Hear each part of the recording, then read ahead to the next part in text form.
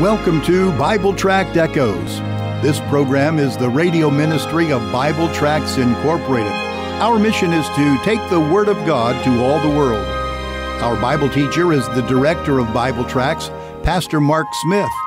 Since 1938, Bible Tracts Incorporated has been publishing clear gospel tracts and supplying them to churches, missionaries, and individuals all over the world, and all at no charge.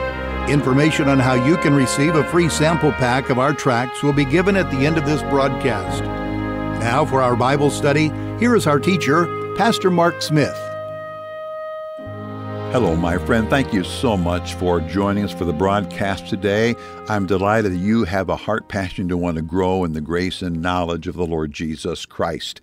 If you can, reach over and grab your Bible and open with me as my Bible sits open to the third chapter of Titus, Titus chapter 3. I'll begin reading at verse 5 here in just a moment. We are doing a verse by verse study through the book of Titus on these broadcasts, and I hope very much that you are enjoying them.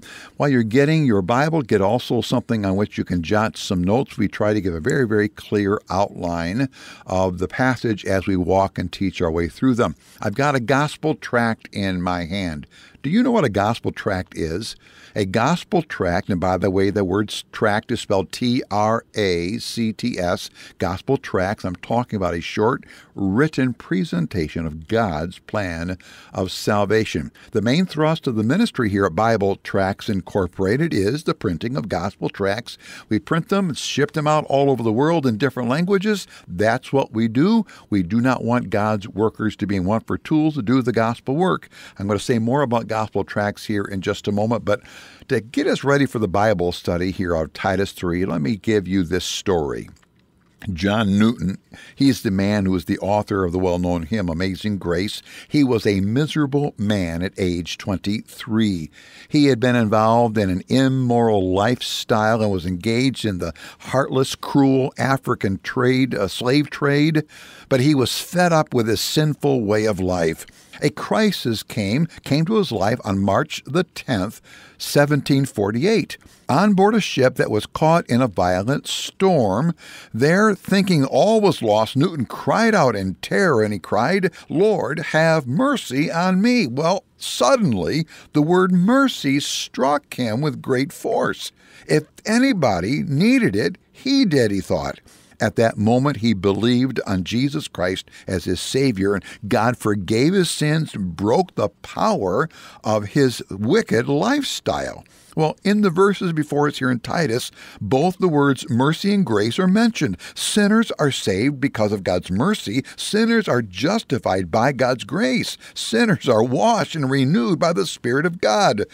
I think what we're told here is that sinners are saved from sin's guilt and they can be saved from sin's dominion over them. I think that's exactly what it teaches here. Join me in your Bible, Titus, please, in chapter 3. Dear friend, Bible Tracts Incorporated has a mission statement.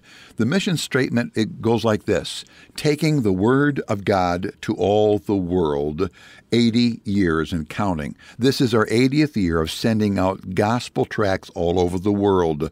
The one in my hand right now, the gospel tract says, "How can a person be away?" That's the title.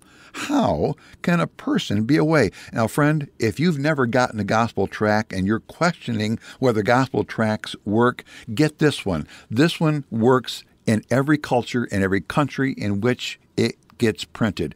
People come to Christ through this tract. How can a person be away? Multiple thousands of Muslims have come to Christ through this tract. How can a person be away? It very clearly uses a clear illustration that you need a person to save you. Not a religion, not good works, a person, and that person's name is Jesus Christ. How can a person be away?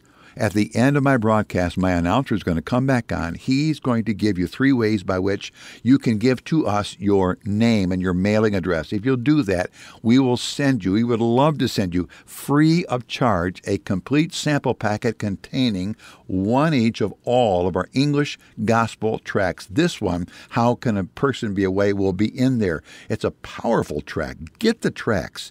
Share the tracts, extend the gospel, read the tracts. You may need to read the tracts to come to Christ yourself. Get them. We would love to send the tracts to you. If you can't stay to the end of the broadcast, just go to our website, which is Bible, you know how to spell, Bible Tracts Inc. Dot BibleTractsInc.org. BibleTractsInc.org. Well, my Bible here is in front of me. Titus 3, beginning at verse 5, here is what the Bible says not by works of righteousness which we have done, but according to his, God's mercy, he saved us by the washing of regeneration and renewing of the Holy Ghost, which he shed on us abundantly through Jesus Christ our Savior, that being justified by his grace, we should be made heirs according to the hope of eternal life. Stop, please, right there. Now, verses 3 through 7 is a section which I've titled this way Our converted life, our converted life. Again, that's verses 3 through 7.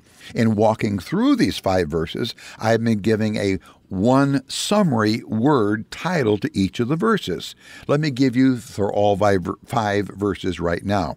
Verse 3 I call the depravity in me, the depravity in me. Verse 4, the devotion to me. The word is devotion. Verse 5, the deeds by me. The deeds by me. Verse 6, the deliberateness towards me. God is deliberately acting towards me. Verse 7, the declaration about me.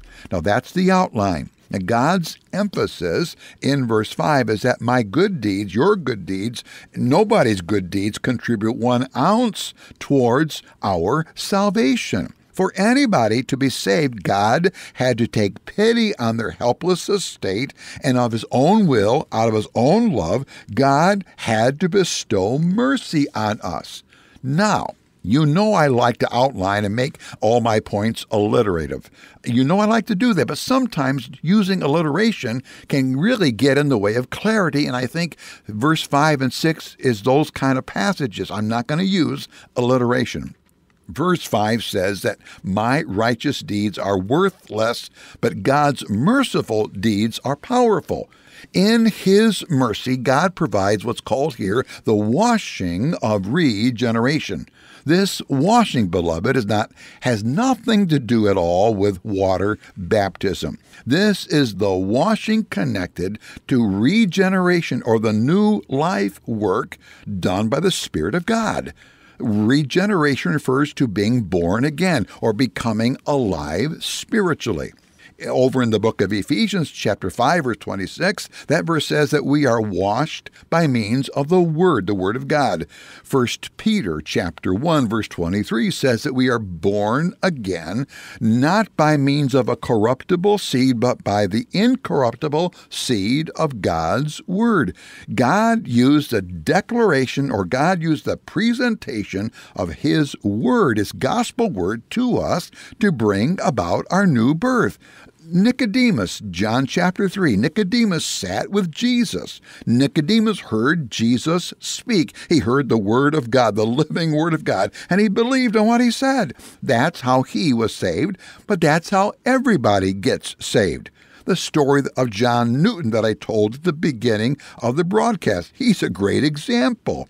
Yes, there was no Bible verses shared with him on that night in the storm, but, friend, John Newton's mother had poured God's word in his life all of his growing up years. That night, all of the work that she had done of planting the word of God, watering with her prayers and tears, came to fruition because of the mercy of God. And at the moment of believing in Christ as our Savior, whether it's John Newton or you or me, at the moment we believe on Christ as our Savior, a washing away of all of our sins occurs. Why?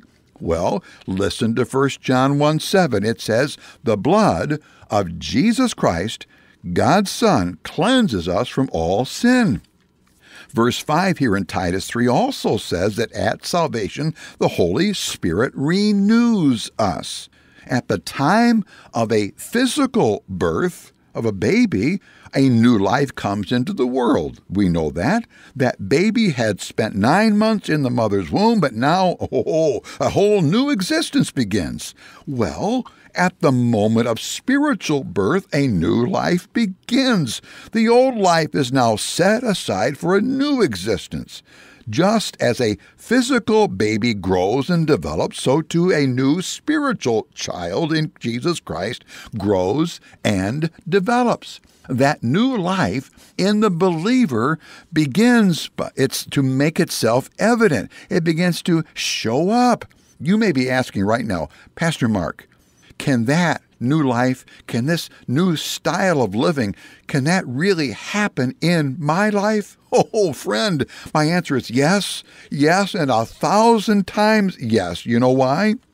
The answer is right here in verse 6. I'm going to read verse 6 again. He has just said in verse 5 that there's been a regeneration and renewing of the Holy Ghost. And verse 6 says, which, referring to the Spirit of God, which he shed on us abundantly through Jesus Christ, our Savior. There's the answer. The Holy Spirit has been shed abundantly on our lives. I love that word shed. It means to gush out. At the moment you and I believed on Jesus Christ, the whole fire hydrant of God's Holy Spirit work was, was just let loose and we were poured upon with the Spirit of God. I grew up part of my life in the south side of Chicago, and on hot summer days, I remember going down a street and seeing some fire hydrants just opened up, and kids were out there enjoying the gushing water coming out of that fire hydrant. Every time I read this verse, I think of that. Friend, that's what's happened to you spiritually at the moment you receive Christ as your Savior. The Spirit of God is let loose and gushed out, shed abroad abundantly on your life. Can you live this new life? You can through the Spirit. A lot of people have asked me, maybe you're asking me today, you don't believe in Jesus Christ. You've never received him as your Savior, and you're wondering, well, if I can never receive Christ because I can't live the Christian life, my friend. You can live a new and godly life because the Spirit of God will be gushed out on you the very moment, the very instant you by faith pray to receive Jesus Christ as your Savior. From then on, the life which you live, you live in your fleshly body, that from then on, that life you'll be living by the faith of the Son of God, who loves you and gave himself for you and gushed on you with the Spirit of God. It's no longer you that's living, it's no longer me that's living, but Christ living in us and through us by the power and enablement of the Spirit of God using the Word of God to transform our life. Friend, if you've never received Jesus Christ as Savior, your present life is a life of disaster and despair. Oh, it may be successful on every level except one in the eyes of God. You are dead in your trespasses and sins, but God loves you. You're on your way to hell, but God loves you. So God came to earth took on flesh, dwelt among us to perform a barricading work. He loved you and died on the cross shed his blood. He was buried and rose again the third day to provide salvation for you, but you must receive him and receive him now. Thank you for joining us today for Bible Tract Echoes. If you would like to receive a free sample packet of our tracts, you can contact us by calling 309 828 6888. Our mailing address is Bible Tracts, P.O. Box 188, Bloomington, Illinois 61702. Again, our phone number is 309 828 6888, and our mailing address is P.O. Box 188, Bloomington, Illinois 61702. You can also contact us through our website. Our web address is BibleTractsInc.org. Remember, the word tracts is spelled T R A C T S. That address is BibleTractsInc.org. May the Lord richly bless you as you serve Him.